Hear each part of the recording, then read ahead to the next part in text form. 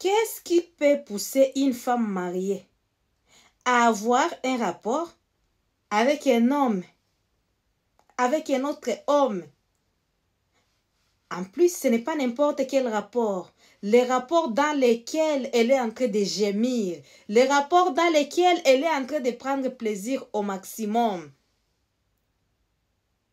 Qu'est-ce qui peut pousser une femme mariée à faire ça? Les amis, aujourd'hui, on va parler de Monsieur Balthazar. Hein?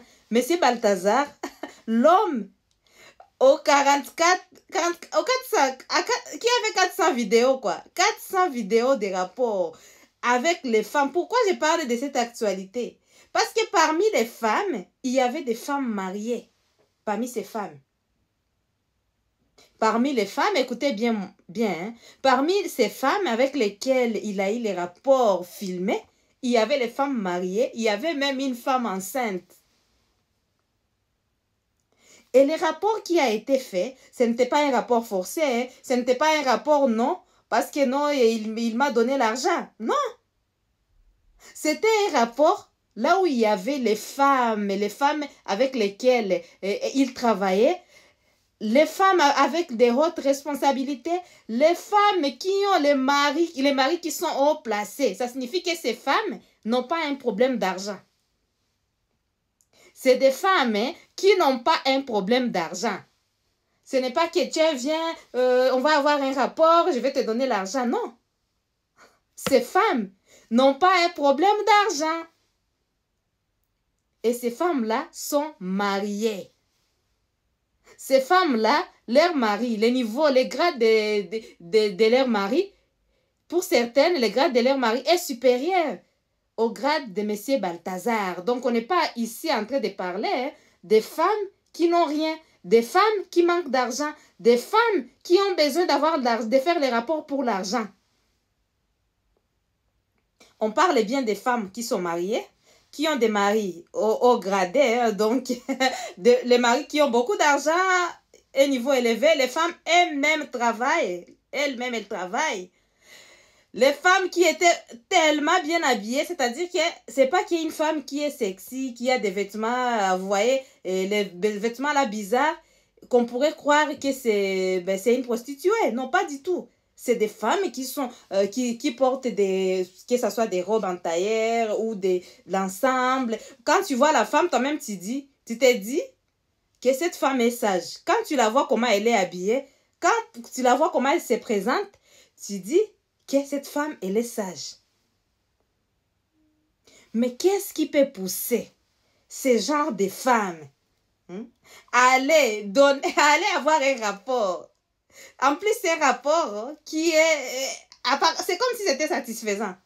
En tout cas, je n'ai pas encore vu les, euh, les vidéos, mais pour les personnes qui ont expliqué les vidéos, il paraît que ces femmes-là prenaient plaisir. Il paraît que ces femmes-là hein, étaient en train de faire Ah, ah, donc elles étaient à un niveau, à un niveau de plaisir qui était élevé. Imaginez le niveau de plaisir qu'elles avaient jusqu'à accepter d'être filmées. Ça signifie qu'elles ont manqué comment remercier M. Balthazar, comment dire merci à cet homme qui vient de me faire arriver à ce niveau-ci. Jusqu'à tel point qu'elles oublient même d'avoir la protection. Eh les amis, elles oublient d'avoir la protection. Ce que j'ai compris par rapport à ce que Balthazar faisait, il paraît qu'elle les mettait à l'aise, elle parlait avec elle, très bien. Et en plus, elle les touchait très bien. Et puis, les femmes étaient là en train de, de, de jouir, étaient là en train de, de ah, ah, étaient là en train de, de, de, passer les bons moments, en fait. Quand, il paraît que quand, en regardant les vidéos, je n'ai pas encore regardé, il paraît que, euh, en regardant les vidéos, tu vois que c'est comme si la femme, elle est en train de dire merci, quoi. Elle est en train de passer les bons moments. Jusqu'à accepter d'être filmée, s'il vous plaît. Jusqu'à oublier même la protection. C'était sans, sans préservatif, s'il vous plaît. Vous vous imaginez? Soit c'est une dinguerie, soit c'est un niveau de plaisir que je vous parle souvent ici. Je ne suis pas ici en train de dire que non, je suis d'accord par rapport à l'infidélité, ce que ces femmes ont fait, euh, que c'était une bonne chose. Pas du tout, loin de là. Mais là, je me demande quand même, pourquoi une femme mariée, légalement mariée, avec un homme qui ne manque pas d'argent, elle-même, elle, elle bosse bien, elle ne manque pas d'argent, peut arriver à ce niveau-là?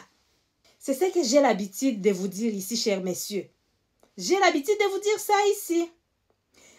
Une femme, peu importe son niveau, peu importe ce qu'elle est, vous-même vous, l'avez vu, peu importe ce qu'elle est, elle, a besoin de se sentir aimée, elle a besoin de se sentir désirée, elle a besoin d'avoir un rapport satisfaisant. Mais la plupart d'entre vous, vous allez voir, au moment des rapports, soit toi tu vas avoir ton jus rapidement, hein, s'il y a déjà précoce, ça peut arriver, et une fois que tu as ton jus rapidement, directement, tu arrêtes les rapports et tu dors à fond. Tu ne t'occupes pas de ta femme. Alors que tu peux avoir ces jus-là et puis tu te rappelles, tiens, j'ai eu les jus rapidement, d'habitude mon jus vient rapidement, je vais faire plaisir à ma femme autrement. À ce moment-là, quand ton jus vient rapidement, cher messieurs, c'est que tu dois faire. Tu dois savoir comment faire de l'art, comment toucher, comment toucher au niveau de sa partie intime, hein, pour qu'elle ait satisfaction autrement. Si tu ne les fais pas, il y a les Balthazar euh, qui vont aller les faire. Vous voyez qu'ici, ce n'est pas une question d'argent. C'est plutôt une question de plaisir. Le plaisir qu'elle a manqué. Moi, je ne pense pas qu'une femme qui a le plaisir auprès de son mari peut aller se faire ridiculiser auprès de Balthazar. Non, c'est quelque chose qu'elle a manqué chez elle. Elle cherche à la voir à l'extérieur. Messieurs, je veux bien que vos femmes euh, puissent peut-être vous tromper si elles arrivent à ce niveau-là, mais que l'erreur qui ait pas votre part de responsabilité. Mais si elle est en manque de sexe, donc le sexe que vous faites là, c'est juste vite fait. Elle est en manque et puis elle trouve que c'est lui qui lui met à l'aise. Elle, là, elle va faire n'importe quoi, même jusqu'à se faire filmer en fait. Il paraît qu'elles étaient en train de gémir, qu'elles étaient en train d'avoir leur orgasme. J'ai appris que Balthazar, il, a, beaucoup de techniques. Il utilisait même les jouets, les jouets, les jouets sexuels là. Quand il voyait que au niveau des, il y a des femmes qui n'étaient pas bien, bien, bien à l'aise et que lui, peut-être qu'il a fini avant, peu importe, en tout cas, il prenait aussi les jouets, les jouets qu'il mettait sur la fleur de ces femmes-là. Et puis, les femmes-là étaient en mode, ah, ah, ah, hein? Peut-être que c'est des choses qu'elles n'ont jamais eu avec leur mari. C'était une nouveauté. Raison pour laquelle, hein, ce que vous devez faire, cher homme, allez apprendre la sexualité. Apprenez comment hein, satisfaire vos femmes. Il ne faut pas que les femmes puissent s'en aller comme ça. Les femmes respectables, hein, mais elles vont aller se rabaisser parce qu'elles manquent certaines choses chez elles. Il y a beaucoup d'hommes qui disent Oh, moi je ne peux pas faire plusieurs positions à ma femme parce que je la respecte. Je ne peux pas la faire, lui faire les kini, je la respecte. Je ne peux pas faire ça et ça et ça avec ma femme. Vous-même, vous vous mettez des limites. Qui vous a dit que votre femme n'aime pas ça? Beaucoup d'hommes aussi ne vont pas faire tout ça avec leurs femmes, mais elles vont le faire avec euh, les femmes à l'extérieur pendant l'infidélité. Tu donnes le plaisir aux autres femmes et tu laisses ta propre femme qui est à la maison.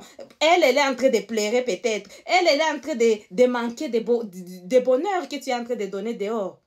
Même si tu ne le donnes pas dehors, quand tu finis, cher monsieur, ta femme, elle a besoin de plaisir. Elle a besoin de libérer les hormones. Elle a besoin d'avoir son orgasme. Il faut chercher comment vous former. Quand vous vous formez, c'est bien. C'est bien tout simplement parce que vous allez faire des bonnes choses et les femmes vont être satisfaites. Et si elle est satisfaite et qu'elle va dehors, ce n'est pas ton souci. Mais si elle va dehors, parce que toi, tu n'as pas su lui faire plaisir, parce que toi, tout est, tout est tabou chez toi, non, à chaque fois c'est non. Euh, prends-moi dans cette position, non. Prends-moi dans cette autre. Eh, toi tu aimes ce genre de choses, eh? Prends-moi comme ça. en fait, toi tu es là en train de condamner seulement ta femme. Et là, elle trouve un Balthazar, un Balthazar qui va faire tout ça jusqu'à ce que elle, elle va avoir son orgasme avec les, les Balthazar là. Et ensuite, ce qui, ce qui va se faire, il y aura l'attachement. Elle va avoir l'attachement avec cet homme-là. Oui, c'est ça. Toujours c'est non. Toujours oh non, eh, on ne doit pas faire ça. Toujours oh non, je respecte ma femme. Je ne vais pas lui faire la position, la levrette. Je ne vais pas lui faire, eh, on ne va pas faire l'andromaque. Je ne vais pas bien toucher sa, euh, sa partie intime. Je ne la touche pas bien. Parce que je la respecte. Je ne vais pas la doiter et tout et tout. Je ne vais pas bien la stimuler, ma femme, parce que je la respecte. Ça, c'est des choses bizarres. Non, elle est venue. Justement, c'est ta femme. Mais pourquoi elle s'appelle ta femme? Elle s'appelle, elle s'appelle ta femme justement pour que tu puisses faire toutes ces choses avec elle. Elle s'appelle ta femme pour que tu puisses faire toutes ces choses avec elle. J'ai vu des posts là où euh, les gens publiaient, les gens publiaient l'histoire de, de Balthazar. Je suis partie dans les commentaires, chers, chers messieurs. J'ai regardé les commentaires des femmes des femmes mariées. Elles étaient là à oh, nos maris peuvent copier, peuvent voir s'ils peuvent copier quelque chose auprès de Balthazar, parce que nous, on souffre, nous, on n'a pas tous ces, pla tous ces plaisirs-là. Au lieu de critiquer ces femmes-là, nos chers maris, allez copier auprès de Balthazar, prenez quelque chose de positif. C'était les femmes qui étaient en train de noter ça. C'est-à-dire que quelque part, quelque part, elles, se retrouvent en fait dans une situation où elles ne peuvent même pas parler à leur mari. Il y a certaines qui ont déjà parlé jusqu'à fatiguer. Les autres ne, ne peuvent même pas parler parce qu'il y a les tabous. Chères femmes, ne trompez pas vos maris, s'il vous plaît. Si vous avez un problème d'insatisfaction sexuelle, ça, ça peut être normal parce que plusieurs de vos maris n'ont pas eu d'éducation sexuelle, ce n'est pas la peine d'aller les tromper parce que tu amènes la malédiction aussi chez toi. Si vous avez ces problèmes-là, communique avec ton mari. Si ton mari n'accepte pas la communication, ben, essaie de lui dire, chérie, j'ai envie des rapports. Même si tu étais vierge. Il y a plusieurs femmes qui sont vierges, qui étaient vierges et qui souffrent aussi. Il y avait une femme qui, qui, qui s'était mariée en étant vierge. Et puis après le mariage, ben, les maris, c'est comme si c'est comme si pour lui, le mariage, c'est juste sa satisfaction à lui. C'est-à-dire que lui, une fois que son outil, il est de, son outil est debout, lui, il entre dans la fleur de, de sa femme. Une fois qu'il a fini son rapport, niet, il s'arrête là. Les rapports sans préliminaire, les rapports sans préparation, les rapports sans attendre que toi aussi, tu sois satisfaite. Même si c'est comme ça, communique avec ton chéri. Si tu as de la chance et que ton chéri accepte de communiquer avec toi, guide-les, montre-les comment il faut faire. Montre-les. Et toi, cher homme, quand on te montre, ta femme te montre, il faut mettre en pratique ce qu'elle te montre. Et si tu as... On sait que tu peux être maladroit. Si tu peux avoir la, la maladresse, ce que tu peux faire, tu, tu peux de temps en temps encore lui demander ce que tu peux faire. Il ne faut pas qu'elle te montre aujourd'hui, demain encore elle va te montrer, après demain elle va te montrer, tu ne prends pas les initiatives. Il faut aussi prendre les initiatives. C'est-à-dire que même si elle, hein, elle, ne te demande pas, elle ne te dit rien, il faut mettre dans ta tête que ma femme a fait l'effort de me montrer, ma femme a fait, a fait tout pour m'expliquer. Moi-même, je dois maintenant prendre les initiatives. Comment la toucher? Avec le lubrifiant, avec, avec l'huile de massage. Comment je peux faire, utiliser mes doigts? Comment je peux faire? Voilà, tout ça. Et encore pour plus de conseils, tu peux encore même aller prendre des formations auprès des sexologues. Hmm? D'ailleurs, moi, il y a une formation qui va sortir bientôt. La formation sera intitulée Comment donner un maximum de plaisir à ta femme. Donc, il ne faut pas avoir honte, il ne faut pas avoir peur. Quand tu te maries, c'est d'abord pour ça. Il ne faut pas que tu te fasses ridiculiser par quelqu'un juste parce que tu n'arrives pas à donner le plaisir à ta, à ta femme. Tout ce que je suis en train de dire là, plusieurs de vos femmes ne vont rien vous dire. Et puis, quand elle va parler, par exemple, elle parle une fois, elle parle deux fois, elle parle trois fois, quatrième fois, elle va être fatiguée et ça va la saouler, elle ne pourra plus rien te dire. Et imagine-toi qu'elle tombe sur un Balthazar. C'est mort. Donc, elle va devenir folle. Elle va devenir folle. C'est-à-dire, non seulement elle va aller gémir là, elle va avoir de l'attachement là-bas. Parce que plus, j'avais dit, j'avais déjà dit, plus tu as un homme tu, tu fais une, les rapports avec un homme et que avec ces rapports, tu arrives à avoir l'orgasme et que tu arrives à avoir beaucoup de plaisir. Ce ce qui va se déclencher, ça sera de l'attachement entre toi et cet homme-là. L'attachement, donc l'hormone de l'amour va se déclencher, l'attachement entre toi et cet homme-là. Raison pour laquelle ces femmes-là sont attachées à ces Balthazar. Donc, je ne dis pas que toute la faute revient aux hommes, mais je n'ai loin de là. D'ailleurs, je condamne euh, bah, la tromperie, je condamne vraiment. Mais moi, je, cherche à tirer la leçon. à tirer la leçon du mal qui, qui a été fait. Je, tire la leçon. Sur ces mal-là, qu'est-ce que, euh, les femmes doivent faire prochainement Communiquer avec leur mari? Hein? Payer les sexologues. Hein? Payer les sexothérapeutes. Montrer à vos maris. Qu'est-ce que les maris doivent faire? Communiquer avec vos femmes. Apprendre la sexualité. Apprendre et réapprendre. C'est la raison pour laquelle j'ai dit ça s'apprend. Il faut apprendre. Tu apprends déjà auprès d'un sexologue avec des formations. Après, tu mets en pratique, écoute ta femme, et puis ce n'est pas elle qui doit, ce n'est pas elle qui doit te dire tous les jours. Une fois que tu as appris, fais de temps en temps des surprises, même si vous n'allez pas avoir, même si ton outil ne va pas entrer dans, ta, dans sa fleur.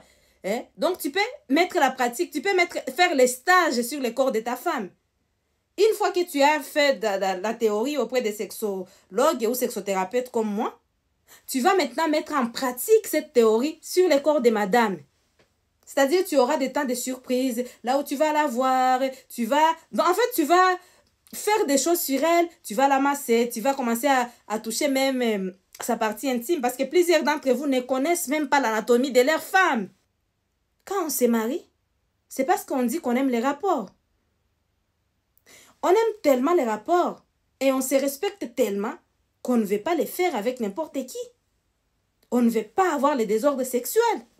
Imagine, tu te respectes tellement, tu choisis la personne avec laquelle tu vas la faire et cette personne ne joue pas les jeux. Cette personne est, entrée, dans les interdits. Ça, c'est interdit. Ça, c'est interdit. Hein? Je me rappelle une histoire.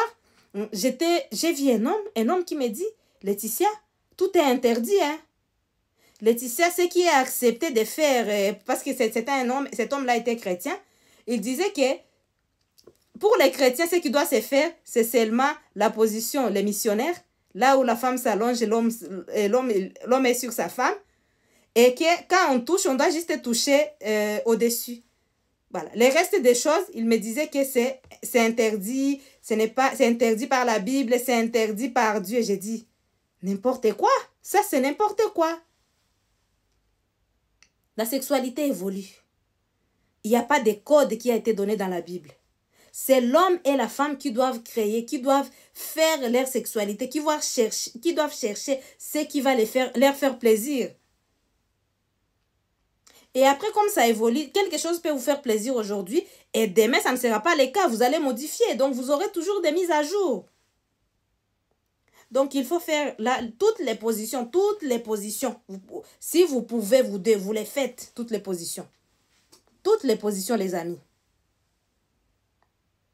Vous pouvez, tu, tu peux toucher ta femme comme tu veux, avec ta langue, avec tes doigts. Avec, tu peux faire les, comment doiter ta femme. J'ai expliqué comment, je vous ai expliqué. Hmm. Tu peux toucher toute ça. Partout, tu, vous devez tout faire. Donc, tu dois faire tout pour que ta femme soit satisfaite. Et toi, la femme, là, on parlait des femmes, mais toi, l'homme aussi, tu dois faire tout. Toi, la femme, tu dois faire tout pour que la satisfaction de ton homme. L'homme n'a pas d'autorité sur son corps et la femme non plus. Vous devez vous satisfaire, vous deux. Vous devez vous satisfaire et trouver ce qui vous fait plaisir, vous deux. Hein? Il n'y a personne. Toi, tu ne peux pas dire tu ne peux pas faire ça et l'autre ne peut pas dire je ne peux pas faire ça. Non. Hein? Vous deux, vous devez choisir ce qui vous fait plaisir et vous devez évoluer. Vous devez toujours faire des mises à jour. Donc, vous devez vous toucher partout. C'est très important. Dites-moi, vous en pensez quoi en commentaire par rapport à tout ça? Hein? Moi, ça me fera plaisir de vous lire, les amis. Je suis très ravie d'avoir parlé sur ces sujets qui m'ont profondément touché et je demande vraiment aux femmes, demeurons fidèles à nos maris, guidons-les et les maris, donnons le maximum de plaisir à nos femmes. Mettez un j'aime, abonnez-vous, je vous